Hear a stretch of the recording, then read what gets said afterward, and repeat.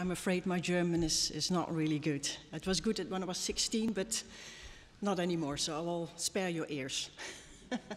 so I've been asked to talk about uh, securing research integrity in the publishing process, and I will also touch upon how we, uh, in, in some cases, reached out, reach out to universities and research institutions and the challenges we, we have doing that. Uh, but I will touch upon uh, uh, more things. It's, it's a very uh, big ecosystem. So why do we care about research integrity? So, of course, um, publishing is a measure of uh, research uh, productivity for the researcher, but also for the institutions, obviously. I think a bookcase like this, you, you, still find it, but nowadays it's more this. It's a computer where everything is, can be found, books and journal articles and so forth. So the publisher, or at least the editors that we work with, external editors, sometimes we work with in-house editors, uh, like Biomed Central has a couple of in-house editors for their Biomed Central series. Nature has in-house editors. Uh, so they are the gatekeepers. They select the content, of course, for uh, to be published in the journals and the books. So I will not go into too much detail about that. So why is research integrity important?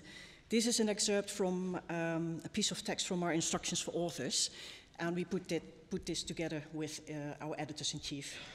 Um, and it actually says, uh, you know, authors should refrain from misrepresenting research results, results which could damage the trust in the journal, the professionalism of scientific authorship, and ultimately the sci entire scientific endeavor.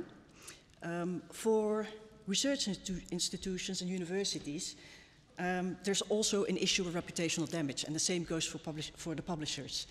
If something happens and uh, you know, data fabrication, manipulation, plagiarism, serial plagiarists, you know, it can damage your reputation. Um, you might remember a couple of years ago, there was a big uh, situation in the Netherlands, Diederik Stapel, for um, data fabrication and manipulation.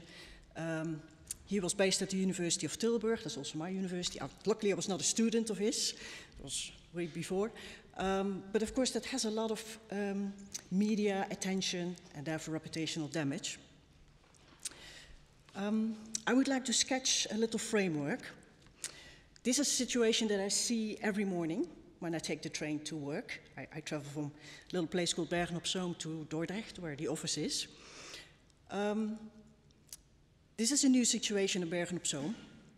It actually says you're not allowed to cycle there. Okay.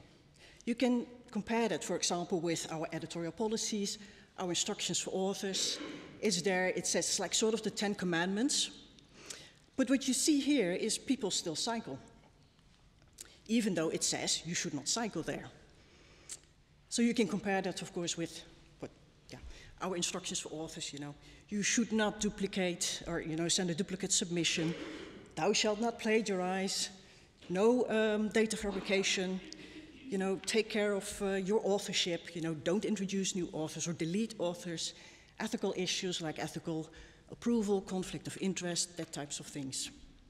But can even be worse. There, in this picture, you can see there are other ways of getting to the station.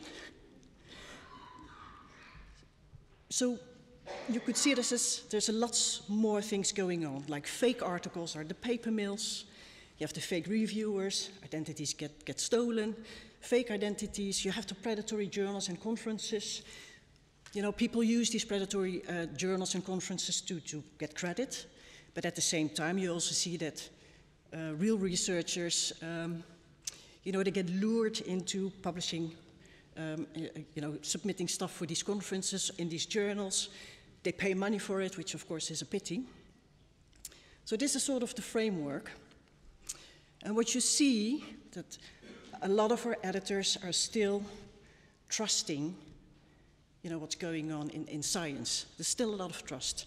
Whether it's naive or not, some editors have never dealt with plagiarism, for example, or have never heard about fake reviewers. Um, but it's happening. So this is the framework. So I'd like to say, uh, share a couple of uh, situations, examples, where we've reached out to uh, universities and research institutions and the challenges we sometimes have. So We know this is also from the Committee on Publication Ethics. It's also in our Code of Conduct. Editors-in-chief are accountable for everything they publish. They select the content, they make the decisions on the basis of uh, the peer reviewers' uh, reports. I'd like to take you a little bit along how it works at Springer Nature. We have three different models, not business models, but uh, we have journals that are owned, Springer Nature owned, we are the owner. And we have journals that are not owned by us, but we co-publish them with societies, other presses, and so forth. And then we have like distribution deals. We don't do anything with that, we just distribute. We had a very interesting case a couple of years ago. Was personally involved in that. It, uh, I call it Kansas University case. It was an author, a high profile author, Sophocleous, who had written a, well, lots of papers, but also a couple of review papers. And the Kansas University got in touch and asked us to retract these papers in this particular journal, Hydrogeology Journal. The journal is not owned by us. So I had conversations with the representative at the, the university, saying, you know, this, these papers need to be retracted. I said, yes, we did our research, we did the investigation, we agreed, but the society refused to retract those papers. And there was a lot of pressure on us, and ultimately we, we couldn't do a lot because we were not the owner. So that is one situation which is very unfortunate and, and it's very yeah, unhappy, uh, unhappy end. Um, what the editors-in-chief was not only a Springer journal, as, as you know, the, the Society journal, it was also another journal by Elsevier. And in the end, um, a note was published, and Kansas University essentially agreed to publishing that note, although they were very unhappy because they also said to, to us, they say, what kind of sign do you give the students at the Kansas University and, and the outside world? So that absolutely, I, I totally agree with, with, with him. So I will say, say something, it's, it's public. This is the editorial note. Um, so in deciding how to respond to the retraction request, the editor has also considered the value of these two articles to the scientific readership. Both articles are reviews of their subject matter, not presentations of new scientific uh, results. These articles are highly cited, and indeed, one is among the most highly cited of all time in that particular journal. Thus, both articles were and are still of clear value to the scientific community. Therefore, the editor has concluded that the retraction would be a disservice to the community. So there you go. One example, and I can tell you about 60% of our journals are owned by us, 40% is not. Another challenge that we have is uh, finding the right person at universities and research institutions. We don't always find the necessary research integrity official or the representative. So usually we go to the head of department, hoping, of course, that that person can, can help us out. Um, and it's not always easy. Maybe in, in Western Europe, America, it's a lot easier. But if you have to go to countries like China, it becomes more complex. Um, of course, the journal homepage of the, the homepages of those universities, we can't read them. So we work a lot with our colleagues in China. Um, we had a couple of really big retraction cases with Chinese authors, and we had to work with our colleagues in China to reach out to the institutions. Uh, so we did it via email, but we also did it via letters to make sure that people get the information and hoping that they will react. Often, well, often, we don't get any reactions at all. So the question is, does the information reach the right people? Interesting thing is, once you start retracting, suddenly you get a lot of, uh, lot of responses, especially from the media, to be honest, because it's, uh, these were very big cases. But there are countries where it's really difficult to find the right person. So as a publisher, that's, that's a challenging part. One of the other challenges we have is the knowledge level of the people that we reach out to is not always the same. Obviously, ethical, uh, research integrity is a very complex topic. There are so many angles, so many perspectives. Um, so really talking the same language. Sometimes it's really about explaining what we see. Sometimes the situation is so complex that the other people don't understand necessarily what the issue is. Um, there's always, um, always, not always, but in some cases we've also experienced issues with, um, for example, the moral rights, the legal framework, the copyright around it, plagiarism versus copyright infringement. So I remember a case of many, many years ago where um, an official wanted to drag us uh, to court because we were in breach of contract. I thought, well, no. The author had breached the contract by publishing the data in one of our journals. So I had a lot of um, challenges explaining to that person at the university what it was really about. Um, in the end, we were not uh, dragged to court, but it, we could only retract that particular paper, for example. And I had uh, lots of issues um, trying to explain that to that particular person. Um,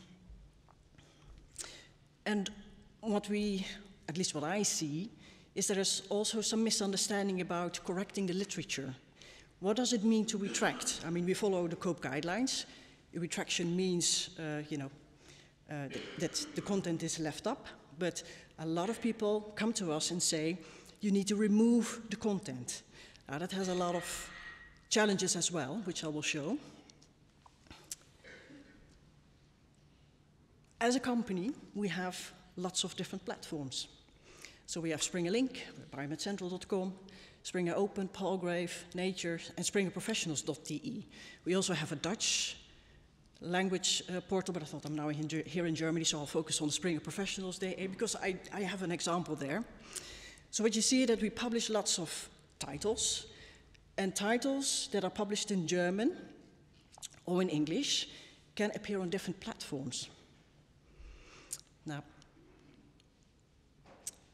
so that's one of the things. Parallel to that, we send our content to a lot of different uh, recipients. So we send it, for example, to abstracting and indexing services, to digital archiving uh, services, to Crossref for cross-linking, uh, for legal deposit, Google Scholar, digital libraries, consortia, um, bulk users, uh, document delivery partners, and of course we send our books to wholesalers, but also a lot of specialist booksellers.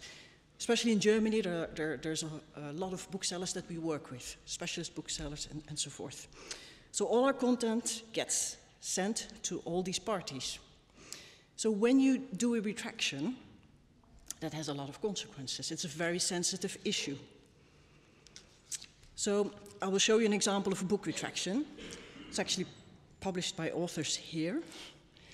Um, that particular book was plagiarizing content.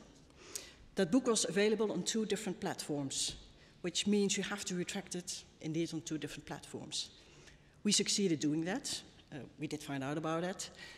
But then what happened was there was also an erratum published linked to that book, which was also available on the two uh, platforms, and we didn't know about that until someone here from the Wissenschaft, um, um, I forgot the name, uh, pointed it uh, out to us. I think Saskia Welder was, was the person.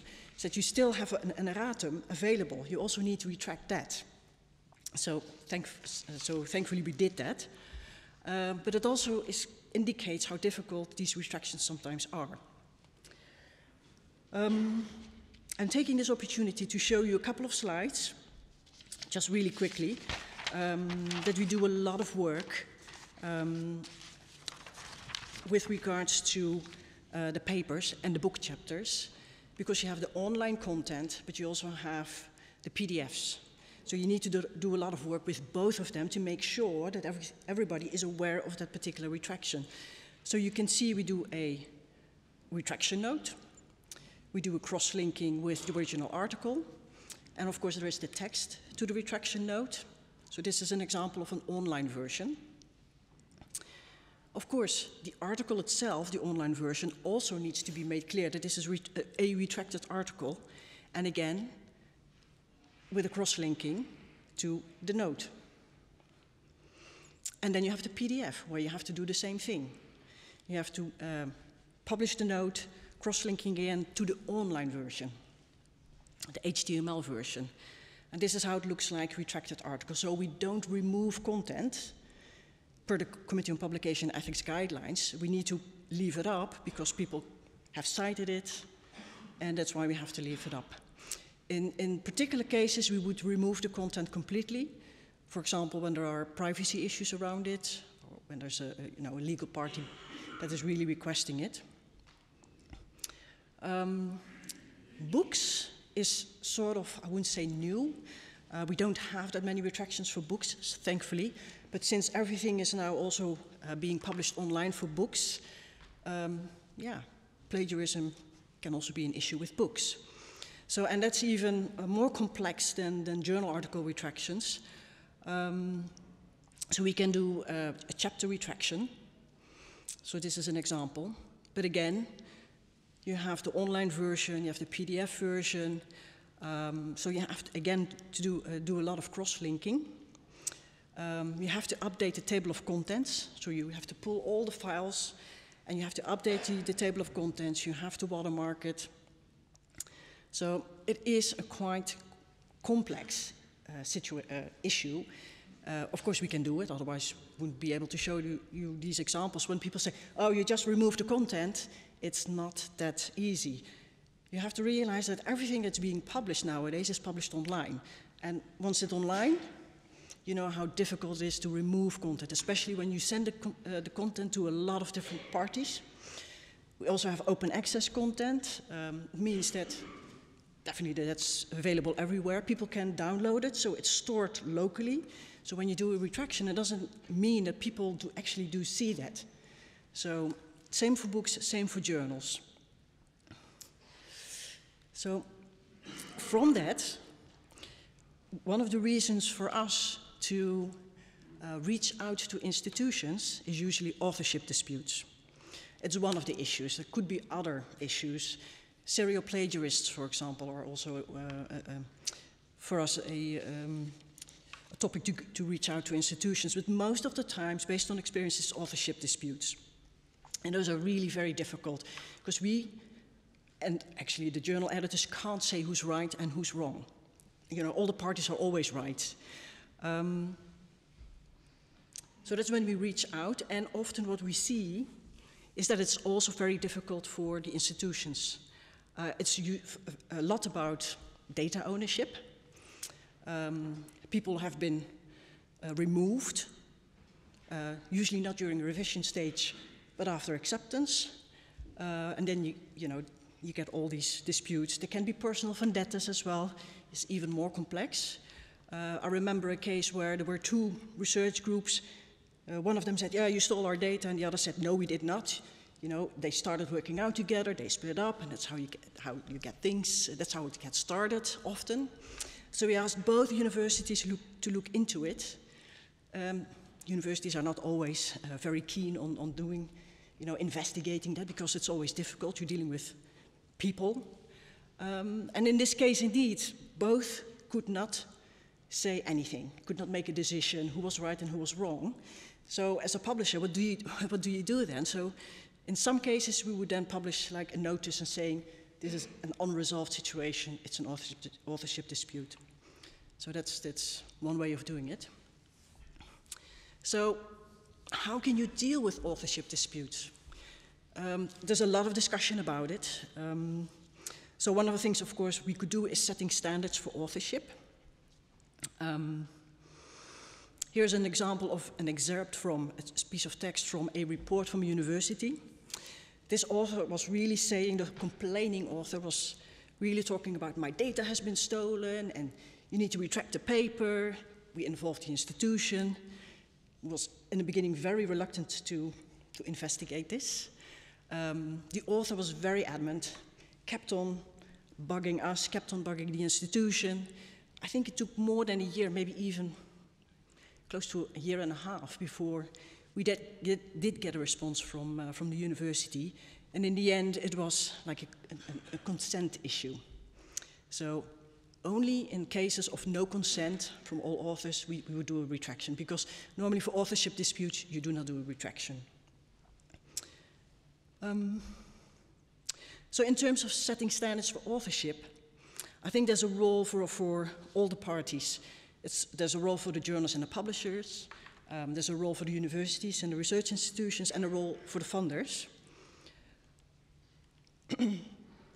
These are some examples that we have in our current instructions for authors, and some ideas about um, you know, further refining of these instructions or you know, where things you know, could help setting standards. So, you know, obviously all the authors need to agree to the content, um, that the consent has been uh, received from all the co-authors, and there's see lots of issues. But also, um, for example, the institute and organization, we have done retractions because um, the authors didn't have the permission from the institute or the organization to publish uh, the, the, the, data. You need to be clear about the role of the corresponding author. Nowadays, there's a lot of talk about a guarantor, someone who takes responsibility for the whole submission. Does that make sense for disciplines like physics where you have uh, thousands of authors? So we always have to be flexible in terms of, you know, with which discipline we're dealing with. Order of the authors is always an issue. Adding and deleting authors definitely. Um, something new is attributing contributions. Well, it's not new. Lots of um, journals already do that. Um, but again, you have to have a flexible approach to that because there are journals with, with more than, you know, lots of authors, then attributing contributions will not work. Um, questions about what affiliation to state, um, author identification, so there will be no uh, identity fraud, for example. Um, how do you deal with deceased or incapacitated authors? So I think we can do that, but we also need to work with institutions and, and in setting certain standards. So attribution contributions, probably have heard about credit. It's a way, it's not very granular, but it's something we would like to do um, at least for, for a number of journals. So that's in the works, a lot of discussions within the company, how we would like to um, do that. There are already uh, journals in our portfolio that are doing th this uh, type of stuff or having um, like a text, uh, open text that describes the contributions. And for author identification, we have uh, ORCID, ORCID. Um, it's not mandated, uh, it's, it's uh, encouraged, recommended practice. So if you go back to this framework where we started with, so okay, no cycling. You know, we have our editorial policies, uh, our instructions for authors, which we update on the basis of feedback from our authors and, and uh, from our editors, I should say, most of the time. Um, so how we, can we prevent this cycling or people, you know, not sticking to the Ten Commandments or, you know, not, not uh, uh, exhibiting inappropriate behavior. So we have our guidelines, processes and checks. Um, so, for example, authorship changes is something that we're really keen uh, on in checking. So, especially after acceptance, that there are no uh, changes happening, authors deleted or added. We're trying to, to, um, to monitor that. Um, we want more of those people you know, following the right path. So how can we do that so that we don't have these cyclists? So we can put up fences through our guidelines, processes, checks, as I said. We check on authorship changes, for example. Um, we have other stuff, plagiarism checks, we use iThenticate. Image manipulation, I know that's a question. I will tell a little bit more about that. We have reproducibility guidelines. I mean, Nature has a lot of huge checklists. Biomed Central has been piloting that. Springer, there's, we've done a survey finding out with our editors whether this is something we want or whether that's something they want. You know, whether they're interested, for example, in replication studies. Um, we have the data deposition guidelines, um, encouraged. Um, some journals, it's, it's mandated. Um, like I said, encouraging mandating ORCID. Nature is mandating it. Springer Biomed Central are still encouraging it. Um, the contributor statements, some journals already have that. We would, would like to organize policy around that. And we're working on stem cell research guidelines for embryos and, and uh, etc. So this is just an example of things we can do, you know, having the guidelines, processes, and checks in, uh, in place. so we have, have more of those people following the right, the right path. But with all that in mind and all the things we, we could do and are doing, are we, are we not making it too difficult for the authors who, who you know, are just following the proper path? You know, we also want happy authors and not authors who feel like, oh God, you know, I already have so much to do. Do I also need to do this to get an article published? Okay, this journal is not asking for all that. I, I will go to that journal and, and not uh, to the journal that's asking all that stuff. Nature, for example, is of course the gold standard. Everybody wants to publish in Nature, science. They can ask these things, these, these huge checklists and stuff. But if you have a smaller journal that is, you know, having a smaller community, does it make sense to ask all these things? So we have to find a, a balance there. We don't want to lose our authors, but we also want to deter particular people. So it, it is difficult. It, it's, it's a whole ecosystem. It's a whole, you know, when, when are you doing things right? I want to say something about image manipulation. I don't have a lot to say anymore because you can talk a lot about this. Um, last year I was asked at the STM, the Association for Science, Technology and Medicine, to be on a panel for digital ethics. It's, it's, a, lot, it's a lot about Internet of Things, it's about um, data privacy and so forth, and I think the previous session was about that. Um, and I was asked to think about how can artificial intelligence, for example, help us with image manipulation. I guess we know this, you know, we see images like that, are they manipulated? Yes or no? I don't know.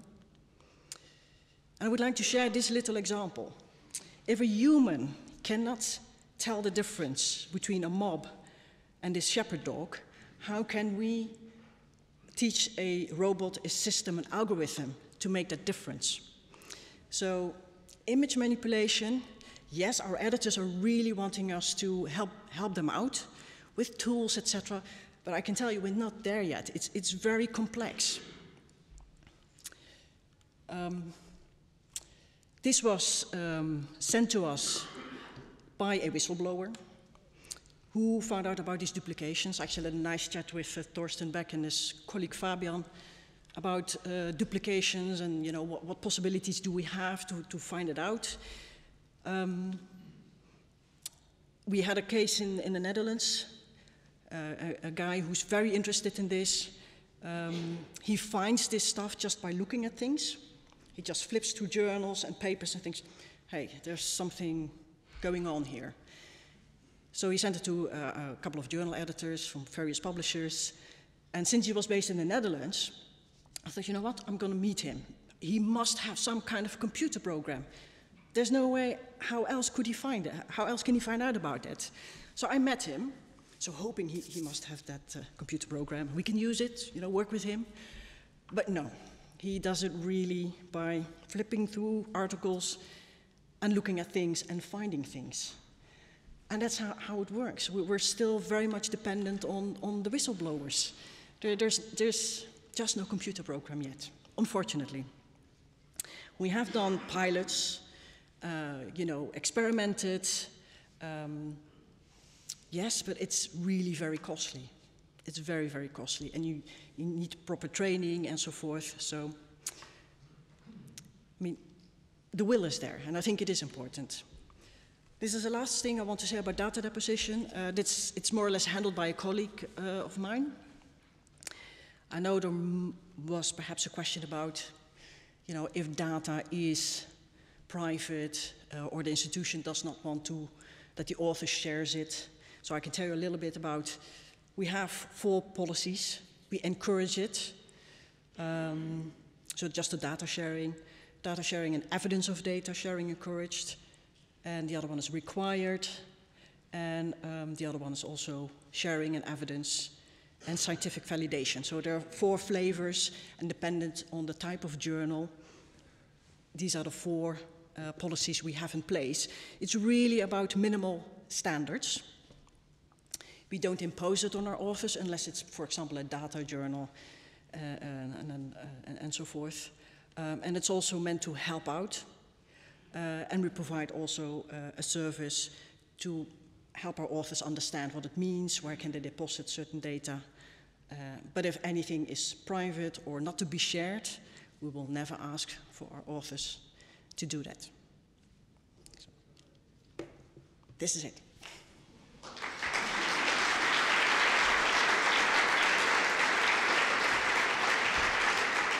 Thank you. Very interesting. And there's time for two short questions, unfortunately, because we are quite behind the time. Yes.